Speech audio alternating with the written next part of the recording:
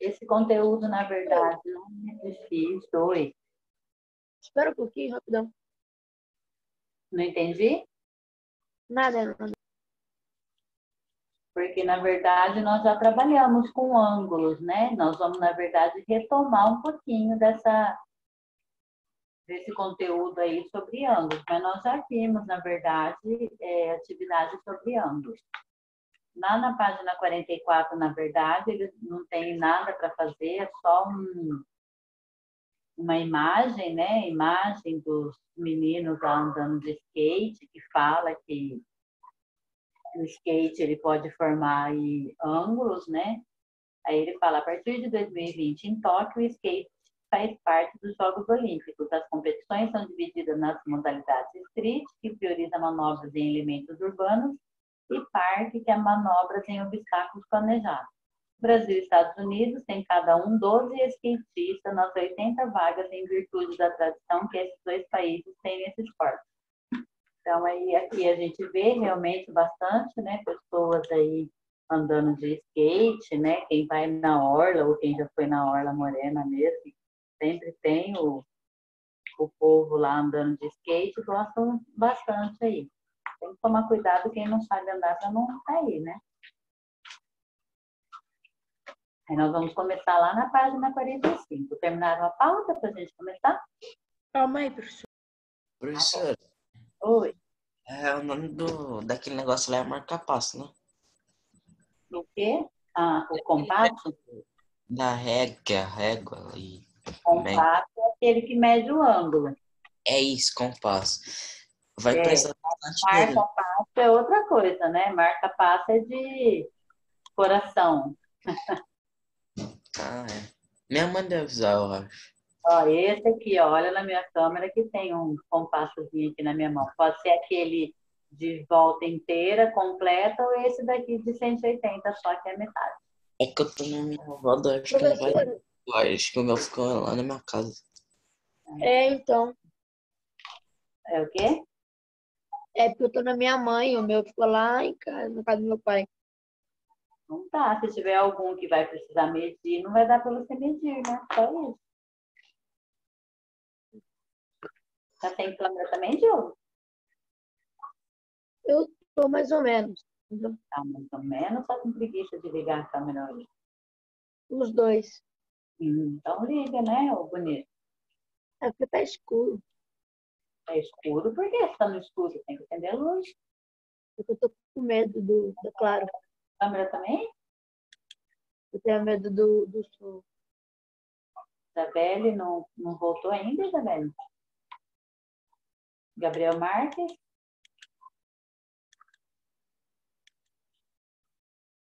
Cadê o Murilo? Oi, professora, eu tô aqui. Ah, tá. Eu não tô te vendo. Você ligou a a câmera. Então vamos lá, então, né? Já deu tempo. Então, primeiro lá, ó, medidas de ângulos. Os ângulos podem estar relacionados aos movimentos que fazemos com o nosso próprio corpo. Alguns exemplos são a forma de nos posicionarmos em atividades cotidianas. E essa atividade aqui está sendo mais cotidiana de todos, né? Frente do computador. Como levantar uma caixa, utilizar o computador, estudar, praticar esporte, carregar uma mochila, escrever mensagens ao celular, entre outras. Observe na imagem a seguir a postura ideal que se deve manter em uma mesa de estudo ou de trabalho para não desenvolvermos problemas de postura ou dores na região da coluna. Então, olha lá, o ângulo de visão tem que ser de 40 a 75 centímetros, né? Aonde você está do seu monitor. Olha o ângulo entre a coluna e o quadril, tem que ser esse daí, que no caso é 90 graus quase o ângulo entre o braço e o antebraço. Claro que a gente não fica nessa posição o tempo inteiro, né? Aqui, ó, a altura da mesa de 72 a 75 centímetros, tem que ter um lugarzinho lá para você pôr o pé, que é o ângulo de inclinação também, e a cadeira de 38 a 55 centímetros de altura. Aí nós vamos escrever aí, estimar. O que, que é estimar? Você vai dar uma estimativa quanto que você acha que mede cada um desses ângulos aí. Então, a letra A, divisão do monitor. Quantos ângulos você acha que tem esse daí? Sem medir, só de olhar. Falem lá para mim, quantos você acha que tem? Uns 45? Quantos? 40? Divisão do monitor, uns 45. Será que tem tudo isso? 45? Tô achando que é menor. 35, professora. É, eu acho que é menor. Porque, ó, sei pensa, pensa comigo. Olha, ó, você tem que olhar, não é onde está aquele vermelhinho. Olha no comecinho lá onde está o início, perto dos olhos dela. Olha que pequenininho que é aquele ângulo lá. Sem medir, né? Só de estimar. Mas se eu pegar o meu transferidor, quem tiver com transferidor aí, faça. Coloque em cima para ver, só para ter uma ideia, mais ou menos quanto que dá. Ele dá 20? bem menos, bem menos que 30 graus. Ele dá uns 20 graus aproximadamente. 25? É, um, vou colocar 20, que dá uns aproximadamente 20, 20 alguma coisa. E agora, entre o braço e o antebraço dela. Esse aqui que está lá na mesa, né? Esse Professora, daqui, quanto que dá a divisão do monitor, mais ou menos? quanto que dá o quê? Do visão, da visão do monitor. Eu coloquei 20 graus. Coloquei lá, ó, tá escrito lá 20 graus. 40. Ah, tá. Do braço e o antebraço, a gente pode perceber que é um ângulo maior do que 90 graus. Lembra do ângulo de 90 graus? Ó, o ângulo reto, 90 graus. Ele é maior que um ângulo de 90 graus. Ele deve ter aí uns, sei lá, uns 100, 100 alguma coisa. Ele é maior que 90 graus, a letra B. Vou colocar lá aproximadamente 100 graus. A letra C é lá embaixo, da inclinação dos pés. Inclinação dos pés, ele é. Será que ele é igual ao outro da visão do, do monitor? Quase igual, não é? Tem que colocar aproximadamente. Ah, ou coloca o símbolo, lembra como que é? Dois fiozinhos assim, ó, é aproximadamente o tracinho, o fio. Vixe, melhor escrever, mano. Ah, é assim, ó, o tracinho e o tiozinho em cima, ó. Isso é o aproximadamente o símbolo. Nossa, nunca aprendi isso não. Isso. Agora quer escrever, escreve, pode escrever. E a letra C, o que que vocês acham? Será que ele é igual da letra A? Ou é um pouquinho maior? Vamos por 22, eu acho que ele está um pouquinho maior. E a letra D? Entre a coluna e o quadril? Ele está quase os 90 graus certinho, né?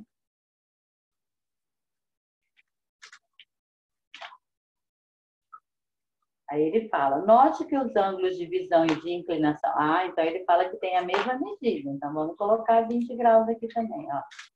Tem a mesma medida, portanto, são denominados ângulos congruentes. Lembram desse nome, né? Quando tem a mesma medida, são congruentes. Aí ele pergunta: que instrumento normalmente utilizamos para medir ângulos? Que é o transferidor. E qual é a unidade de medida? É o grau. Ângulo é qualquer região do plano limitada por duas semirretas de mesma origem. A unidade de medida de ângulo é o grau, que corresponde a 1 sobre 360, que é uma volta completa, e cujo símbolo é essa bolinha aí. Ângulos que têm a mesma medida são chamados de ângulos congruentes.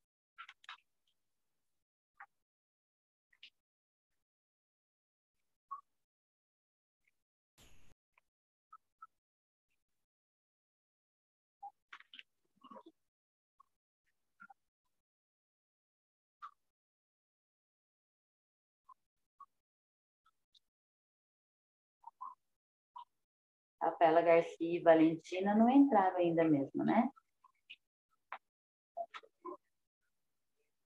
Catarina também não, né? Luiz Henrique também não. Rafaela Frank entrou?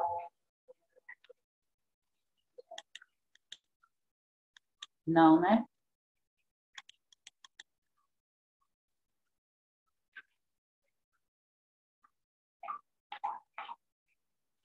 Prontinho, então? Página 46, então. Lá na página 46, ele diz assim, ó. Atualmente, com o uso cada vez mais constante dos smartphones, muitos aplicativos estão sendo criados para as mais diversas atividades, inclusive para medir ângulos. Alguns deles são disponibilizados de forma gratuita. Veja que em um desses aplicativos basta ajustar o vértice do ângulo que se deseja medir com o centro do transferidor. Então, olha lá, ó, com o próprio aplicativo, você coloca lá o o objeto que você quer medir, você descobre a medida, sem precisar ter um transferidor. Mas nós não vamos usar o aplicativo, nós vamos ver a, a, a forma de medir com o transferidor. Uso do transferidor. Para medir ângulos, normalmente usamos um transferidor de 360 graus, que é este lá da volta completa, ou de 180, que é metade. Aí, o que, que eu preciso lembrar? Linha de pé, olha lá, essa linha vermelha, e tem o centro lá. Mesma coisa o outro do 180. Tem a linha de pé, que é o vermelhinho, e o centro do transferidor. Modelos apresentados, ambos têm duas escalas, uma interna e outra externa, para facilitar a visualização e determinação das medidas. Vamos relembrar como medir um ângulo. Para isso, considere a imagem a seguir e o ângulo BAC traçado sobre ela. Observe a posição do transferidor colocado sobre o ângulo. Olha como que o, o transferidor foi colocado. Ó. A linha de fé foi colocada em cima, lá do lado do, da figura que eu quero medir, da linha vermelha, e o centro do transferidor está bem no cantinho lá, no vértice, né? Aí ele diz assim: note né, que o centro coincide com um vértice e um dos lados com a linha do transferidor, com a linha de pé. Com base nisso, complete. Quanto mede esse ângulo? Olha lá no, no transferidor. Quanto que mede? Ele está entre os 50 e os 60, estão vendo? Olha lá na apostila. Quanto que mede?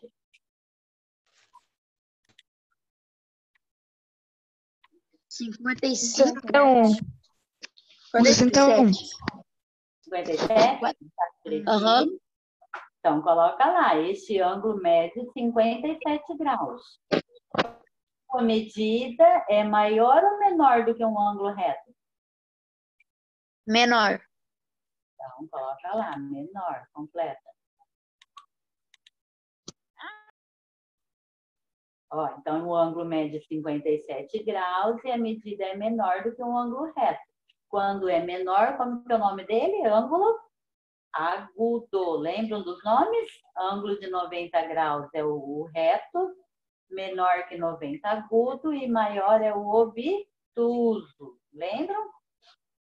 Aí, bissetriz. O que, que é a bissetriz? A bissetriz, ele divide o ângulo ao meio certinho. Então, vamos supor que esse ângulo aqui, ele meça 90 graus.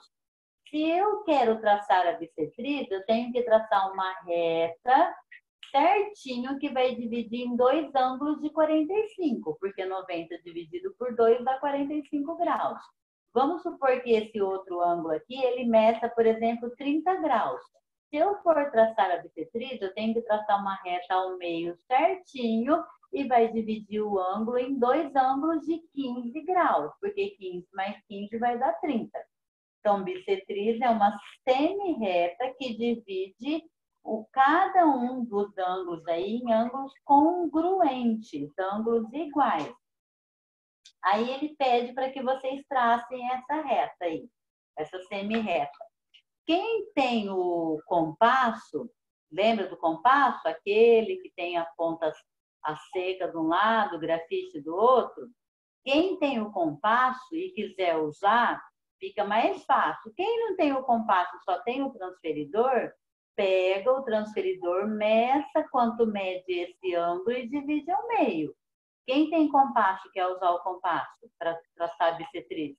Alguém tem? Não? É, Então vamos- Como é que usa? Não entendi. Fala. Eu tenho, professora. Eu tenho? Vai usar? Aham.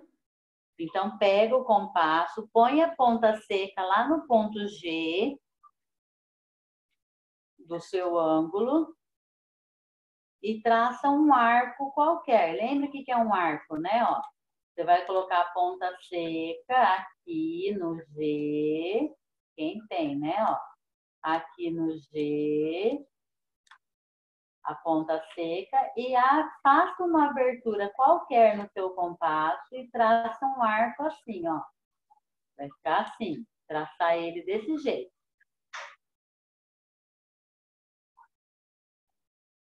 Ok? Aí você pega a ponta seca e coloca aqui, ó.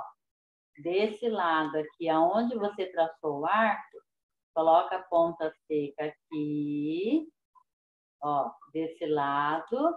Aí pode ser essa mesma abertura que você fez aí. Aí você faz um arco, só que ele vai ficar menorzinho aqui, ó. Traça aqui, ó. E aí faz a mesma coisa. Põe a ponta seca do outro lado e faz o outro. Eles vão se encontrar. Vai ter um ponto de encontro entre eles. Ó, ponta seca deste lado e traça um arco. Depois a ponta seca desse outro lado. Não pode mexer na abertura do compasso quando você for fazer isso. Ponta seca aqui e traça o arco. Ponta seca do outro lado com a mesma abertura e traça aqui. Vai ter que ter um ponto aqui onde eles vão se encontrar. Esse ponto onde eles se encontrarem vai ser a bissetriz. Aí você vai ligar o ponto G com esse daqui. Ele tem que ficar certinho ao meio. Lógico que o meu tá tortinho porque eu não medi, né? Gabriela, prof, Ana? Fala. Ó, fez esse depois ar? que, Ah, pode falar. Depois que você faz o negócio, fica um monte de linha, não fica? Fez esse arco aqui, né? É, daí fica um monte de linha, depois que terminou tudo. Daí vai ficar só um. Vai ter que ter Só um que, ponto tipo, onde eles vão se encontrar, não tem? Um lugar que eles se encontraram aqui, no meio? só dois. Então, é só um ponto de encontro. Esse ponto de encontro que você vai ligar. Achou o ponto de encontro ou não? Não. Então, você fez alguma coisa errada. Ó, primeiro você traça esse arco aqui, traçou? Aí você pega a ponta seca do seu compasso e coloca aqui. Aí você vai traçar, ele vai ficar um grande ou pequeno. Não precisa fazer muito grandão esse arco aqui. Aí você vai fazer a mesma coisa do outro lado. A ponta seca aqui vai traçar outro assim. Ele tem que se encontrar, vai ter que ter um ponto de encontro entre eles aqui. Esse ponto de encontro que você vai ter que ligar lá com o G. Se não deu, porque você fez alguma coisinha errada, Amanda.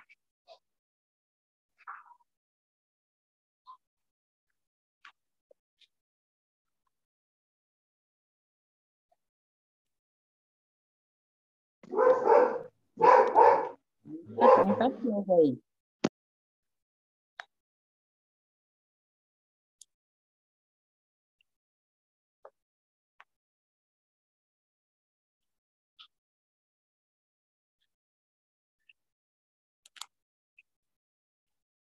Professora, mas depois de que a gente achou esse ponto de encontro, a gente vai Aí ter que fazer essa, a linha do meio, É né? ligar com o ponto G, que vai ser a bissetriz. Ah, tá.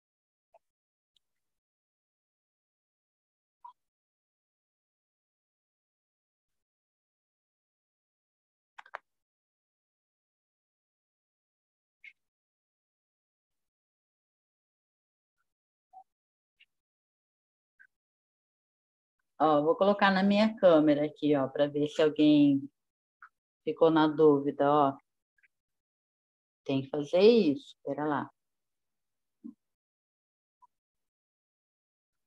Ó, ponta seca lá no G, uma abertura qualquer do compasso, aí você vai fazer um arco.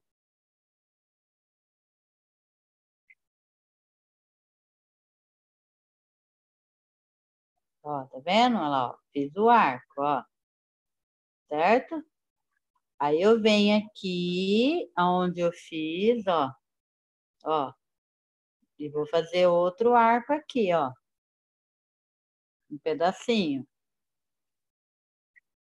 Ó, aqui, tá vendo? Esse pedacinho que eu fiz. Aí vou do outro Eu consegui. lado. Deu? Ó, aí vou do outro lado, ó. E faço esse do outro aqui, ó. Ó. Eles se encontraram, tá vendo? Que ficou um pontozinho de encontro lá, ó. Ó.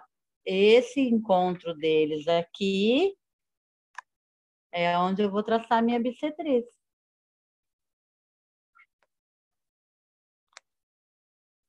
Conseguiram? Lá na outra página também ele explica direitinho como se faz. Quem conseguiu faz o outro também. O outro é a mesma coisa. Ponta seca aqui, ó. Ponta seca aqui, traça o arco. Aí vem com a ponta seca desse lado, vai traçar de um lado, vai traçar do outro. Aí vai ficar o xizinho lá, aí você vai ligar e vai traçar a bissetriz. Se você pegar o seu transferidor e você medir, esse ângulo que você traçou, ele tem que ficar congruente, tem que ficar igualzinho. Lá na página 47, toda essa forma que eu expliquei, ele fala aqui, ó, o processo de construção da bissetriz de 38 graus. Ó, primeiro, com a ponta seca do compasso no vértice A e abertura qualquer, trace um arco que intersecte ambos os lados do ângulo. Então, que ele colocou lá, ó, lado B, lado C. Depois, com a ponta seca na, na igual, né? Não pode mexer na abertura. Aí você vai colocar a primeira ponta seca no B, vai traçar lá um pedacinho do ângulo. Depois a ponta seca no C e vai traçar. Esse ponto de encontro lá, você traça é a bissetriz. Cada ângulo vai medir 19 graus, porque a medida é 38, né? Então, 19 mais 19, 38 graus. Ô, prof, eu consegui fazer que eu marquei um ponto X com a régua. Tá, você mediu com, a, com, com o transferidor, né? E depois com a régua você fez. Tudo bem. Ficou igual? Os ângulos ficaram iguais? Ficou? Então tá bom. Então vamos lá na 47 agora, atividades. Vamos lá? Uma atitude muito comum atualmente é visualizar ou digitar mensagens de texto no smartphone. O problema não está em usar o aparelho para isso, mas sim no uso excessivo. Observe nas ilustrações a inclinação da cabeça e o quanto de pressão ela faz sobre a coluna cervical ao utilizar o aparelho. Então, olha lá, ó, reto, né, bonitinho, zero graus no caso. Aí, quando abaixa a cabeça, olha lá, abaixa, abaixa, ó o último lá, coitado, já tá lá no, encostando o queixo, né? Aí ele fala, com o transferidor, determine a medida dos ângulos indicados nessas ilustrações e registre na tabela. Então, primeiro de 0 graus, peso de 5 graus, normal. Agora, o de 12 quilogramas. Qual que é o, o ângulo que ele está fazendo lá com a cabeça? Vamos ver se vocês conseguem medir. Lembrando que para medir tem que colocar o centro do transferidor aqui, ó. Vamos ver se eu consigo colocar o, a apostila aqui para vocês. Cabeça do menino aqui.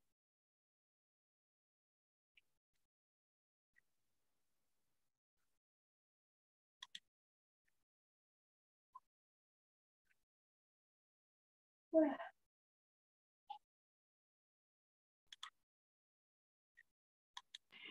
Quer falar, professor? Não entendi. Que é pra falar? É para falar, não é para medir.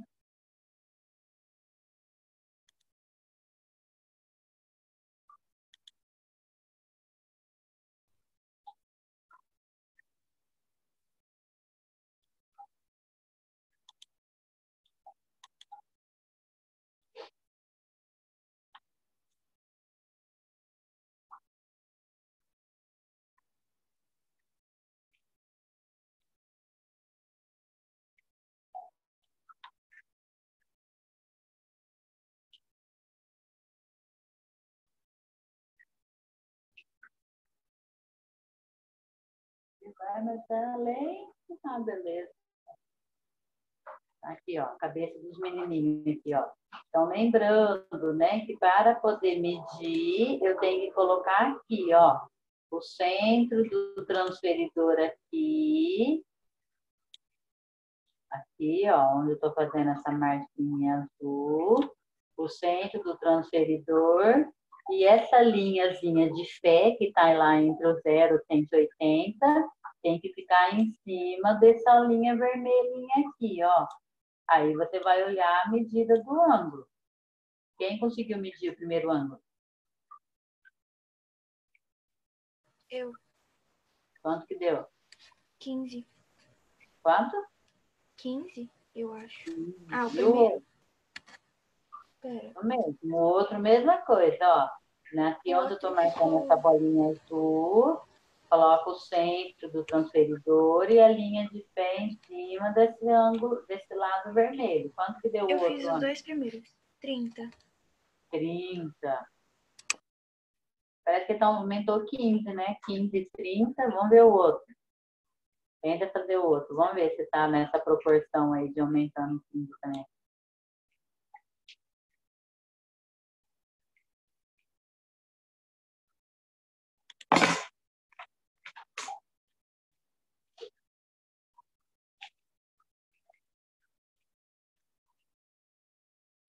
Bom dia, Luiz Henrique. Acordou agora?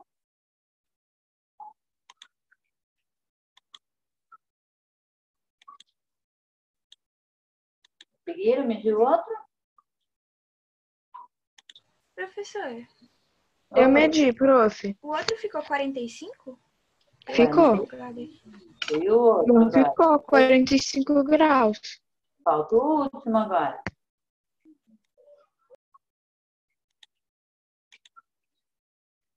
E o último?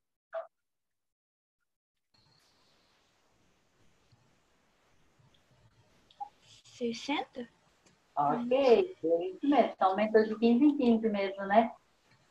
Aham. O primeiro deu é, 15 graus, o outro 30, 45 e 60 graus. Isso mesmo. Olha só, pensou esse ângulo aí de 60 graus? Como que deve depois doer o pescoço desse camarada? Tanto abaixar aí desse jeito? Vamos lá na 48 agora. Vocês vão usar novamente o transferidor, vão registrar a medida do ângulo e depois vão traçar a bissetriz. Lembrando que para traçar a bissetriz pode fazer igual eu expliquei agora. Traça o arco, né? E acha o centro lá, que a bissetriz tem que dividir em dois ângulos iguais. Quem não tem, usa só o transferidor. Meça, quando você medir o ângulo, você acha metade dele e traça a bissetriz. Vamos lá. Vou dar aí uns minutinhos para vocês fazerem essa.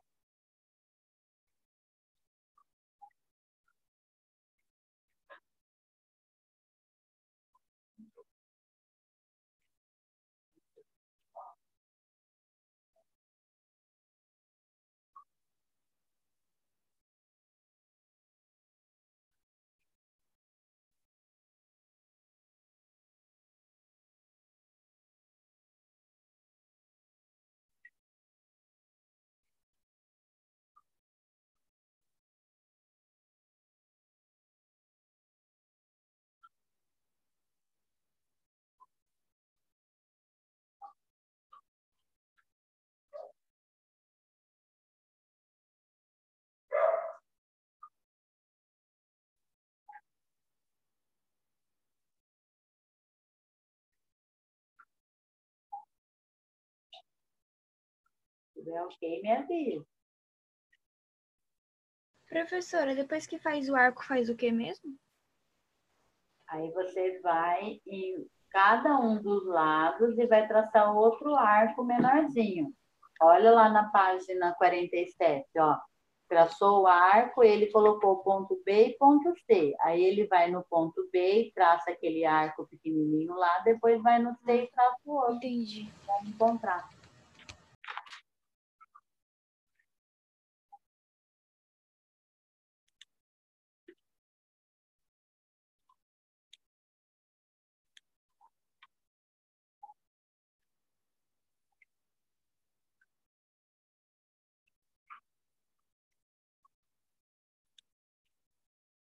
Aqui, ó, no ponto O, você traça um arco, depois você vai de um lado, marca um tracinho, depois vai do outro, marca outro tracinho.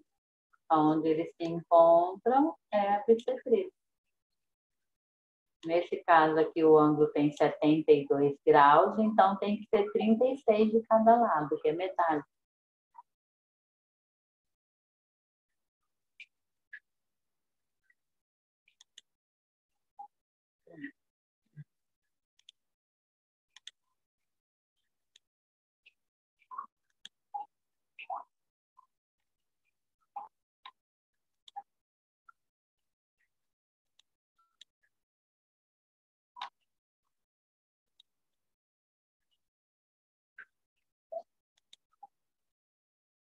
Aqui eu não desenhei o ângulo, tá, gente?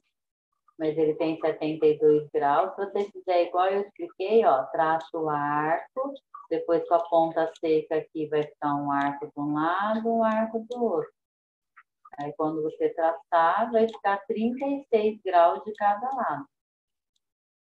Porque traçou, dividiu em ângulos congruentes, né? 36 de cada lado e o outro que é 134 graus, ó, vai fazer a mesma coisa, traça um arco, depois vai traçar um de cada lado. Que é 134, quando você dividir por dois, vai ficar 67 graus de cada lado. Professor, 67, oi. é, falta um minuto, tá? Falta o quê? Um minuto. Ah, não tem problema, depois a gente vai retornar.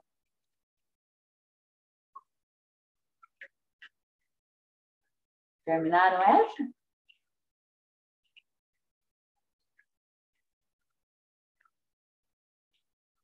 Quem terminou pode preencher no número 3.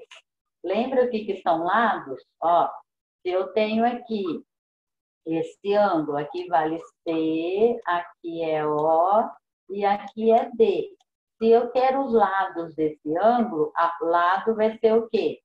CD e O, desculpa, né? D, ó, CO e OD.